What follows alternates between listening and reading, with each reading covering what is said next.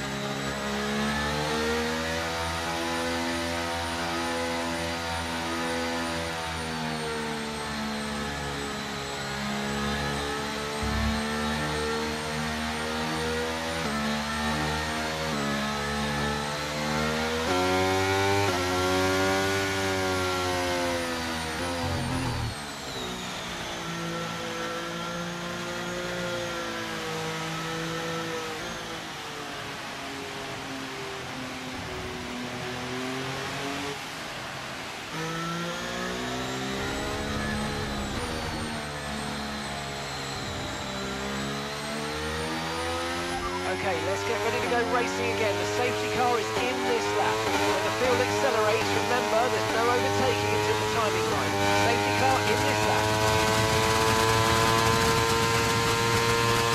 Green flag.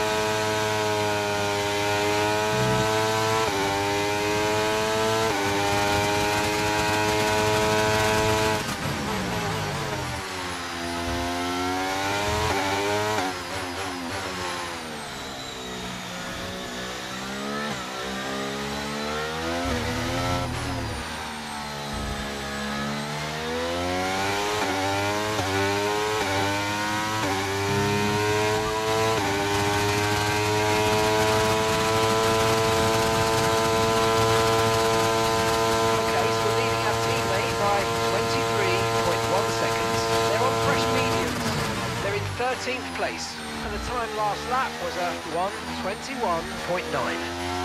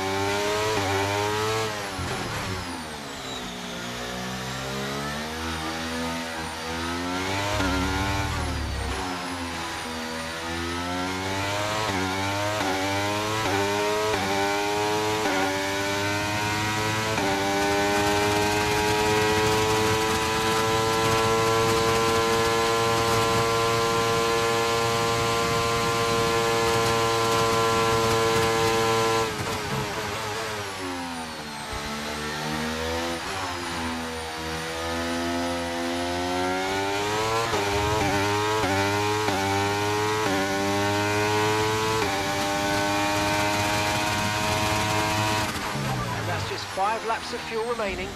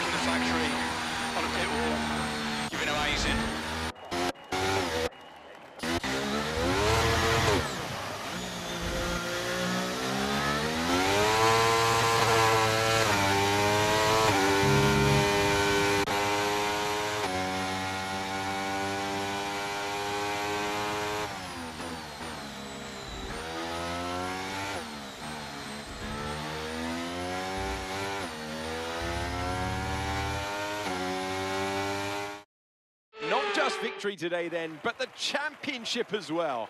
What a spectacular season they've had. And congratulations to the whole team. Anthony Davidson, how do you think they were able to set themselves apart today? Well, time management probably played quite a large role in the outcome of this one. As ever, it's not just about speed, it's all about maintaining that speed consistently over a stint, over a race distance. So being able to keep up the lap times while still being smooth on the controls and gentle on the tyres, that's really where the race was won today.